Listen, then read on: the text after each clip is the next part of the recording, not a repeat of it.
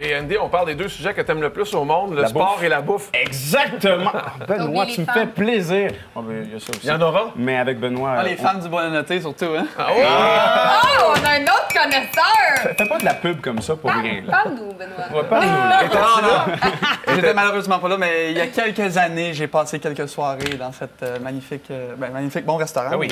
Mais là, on t'a connu à travers les années dans des piscines, euh, dans différents Ouais. Jeux olympiques. On t'a vu même au Grand Saut et on t'a vu ici à Ça commence bien, mais on connaît pas ta passion pour le vélo. Ouais, Parle-nous mais le vélo, c'est euh, mon deuxième sport. Ah ouais? Sincèrement, là, ben, je pense que tu en fais un peu hein, aussi. Euh, non, Non, tricycle en fait. Tricycle, Euh, Mais- aller au dépanneur.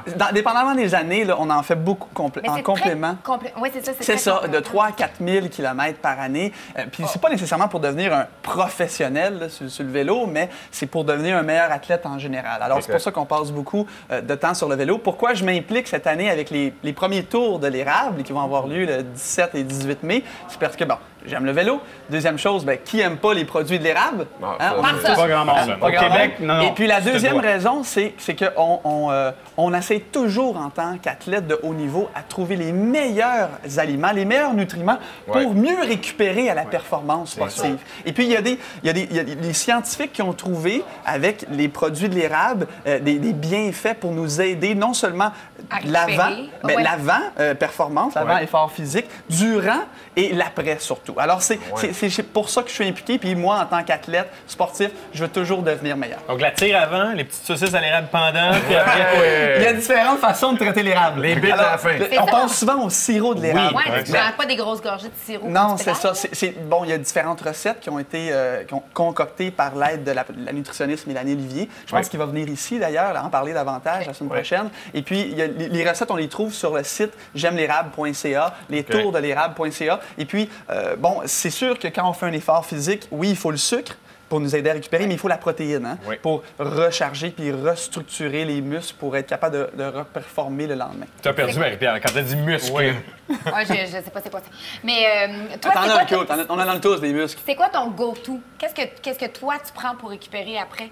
Euh, ben, euh, il y, a- y y plein de trucs. hein. Il y, a- il y Ouais. y a des genres de petits yogourts qui sont faits. Mais tu sais, c'est- pas. On pense, c'est ça. On pense tout le temps à l'érable comme le sirop d'érable. Mais il y a tellement de recettes qui ont été faites. Ça peut Oui, être. ça part de l'eau d'érable. Donc, Ouais. c'est- c'est- c'est c'est l'eau qui peut être dérivée dans. Puis l'eau, voyez-vous, on l'utilise, mais on va plus l'utiliser durant l'effort. Exactement. Durant l'effort. Alors, euh, au lieu de prendre euh, ben, euh, du Gatorade, on va prendre l'eau de l'érable et, et- et puis il faut rajouter un petit peu de sucre parce qu'il il- il manque un petit peu de sucre puis un petit peu de sel. étonnant. Mais à partir de la base de l'eau de l'érable, on va, on va prendre ça comme, euh, comme, ben, comme boisson Ben de oui. récupération Ouais. puis d'effort durant les- durant Donc, l'activité. là, là, Benoît, tu nous parles du volet sucré hein, Ouais. des tours Ouais. de l'érable, mais c'est quoi le volet sportif? Les tours de l'érable, c'est quoi? Oui, ben, le 17 et 18 mai, ça va avoir lieu dans la grande région de Québec, plus précisément à Pont-Rouge. Le 17, c'est des compétitions un petit peu pour les, euh, pour les pros. Alors, des compétitions juniors, seniors, même pour les, les maîtres cyclistes. Et le 18, c'est là qu'on vous invite. On vous invite parce que c'est une cyclo-sportive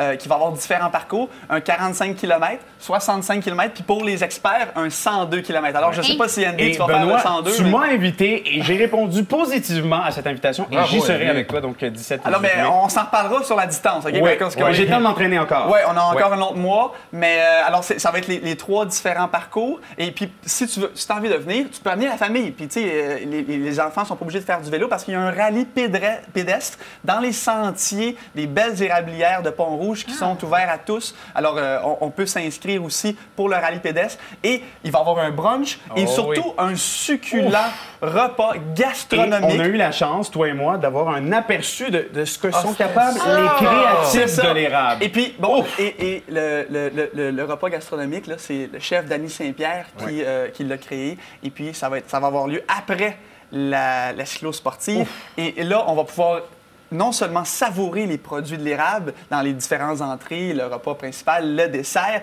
mais qui vont nous aider, les euh, sportifs, à récupérer après Oui. l'effort physique. Et on reçoit Dany Saint-Pierre et Mélanie Olivier pour le volet gastronomique de tout ça la semaine prochaine. Donc, j'espère, je lance l'idée Ben, à Dany qui nous regarde probablement. inscrivez-vous. T'amèneras des échantillons, Dany. Nous, Ouais, bien ça, ouais, goûter ouais. pour On s'inscrit. l'adresse? Oui, les tours de l'érable.ca ou j'aime l'érable.ca. Ouais. Et puis on va y être. On vous invite à venir en grand nombre. Ça va être pas mal de fun.